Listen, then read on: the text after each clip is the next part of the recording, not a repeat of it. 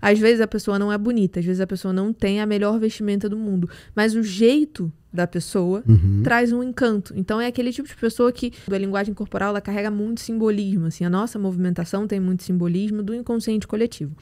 Então, quando o capital erótico traz a questão da atratividade sexual e do- da movimentação da nossa linguagem não verbal e ela fala que pessoas que têm uma melhor consciência corporal são pessoas mais atraentes, é porque, por exemplo, às vezes a pessoa não é bonita, às vezes a pessoa não tem a melhor vestimenta do mundo, mas o jeito da pessoa Uhum. traz um encanto. Então é aquele tipo de pessoa que você olha, você de maneira racional vê que a pessoa não é bonita, vê que ela não tá super bem vestida, só que ela tem alguma coisa. E você olha e você fala assim, cara, eu não sei o que, que essa pessoa tem, ela só tem alguma coisa. Tipo, ela é receptiva, ela tá sorrindo, ela Sim. me olha no olho, ela conversa comigo, tipo, é gente boa, assim, sabe? Às vezes ela nem abriu a boca, mas você foi com a cara dela. Sim. E é essa movimentação aberta, é essa linguagem corporal aberta, de estar sorrindo, de estar se movimentando de uma forma que não causa um certo incômodo no outro. Então, a pessoa que está captando essa mensagem, a nível inconsciente, ela percebe que você não é um risco para ela.